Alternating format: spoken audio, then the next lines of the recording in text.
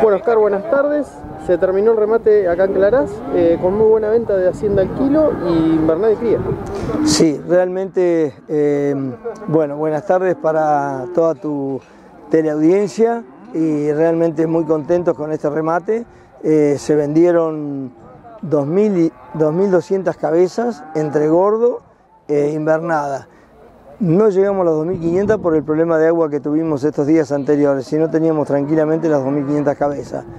Muy conforme con la venta de los gordos, vos viste el valor de los novillos, te diría que anduvimos bastante cerquita de los precios de plaza, vendimos los novillos a 45 pesos, el novillo liviano, 42, 43 eh, y 44 el novillo pesado, eh, la ternera anduvo entre 43 y 46, la ternera y la vaquilloncita, este, así que la verdad que los valores, la vaca ni que hablar, la vaca voló toda, prácticamente toda entre 35 y 36 pesos, mucha vaca, 400 vacas encerradas, el 90% de la vaca era toda gorda, y quedó unos, un par de lotes de conserva que anduvieron alrededor de los 28 30 pesos, pero muy buenas ventas en, la vaca gorda, ¿no? con entre 34 y 36 pesos y algunos superaron los 36 pesos.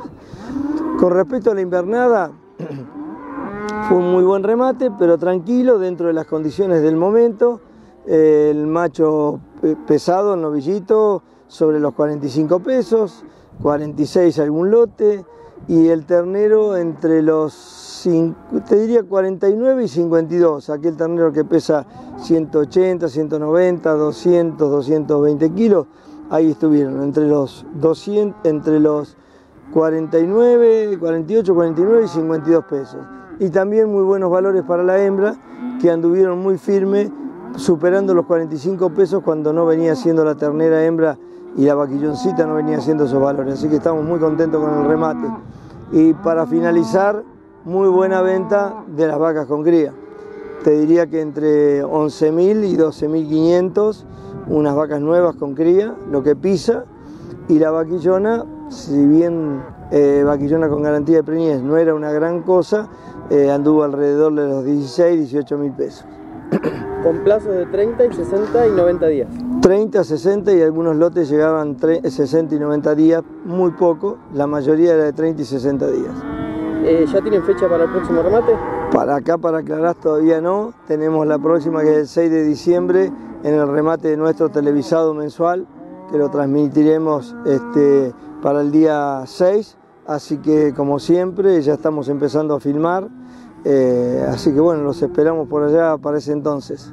Bueno, muchas gracias por la invitación y nos, nos vemos en el próximo remate. Muchas gracias y como siempre un saludo muy grande para Mauricio, que lo escuché esta mañana haciéndonos la publicidad del remate y agradeciéndole que siempre están ustedes, sus eh, corresponsales en los remates, tratando de llevar eh, toda la información y más que nada en este caso para la gente de la zona aledaña a Tandil, ¿no?